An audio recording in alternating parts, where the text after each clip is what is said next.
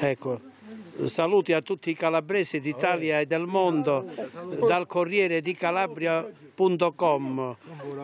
Siamo nella capitale della Calabria, ah, contrada Valli di Cerisana. No, ma siamo tutti veri.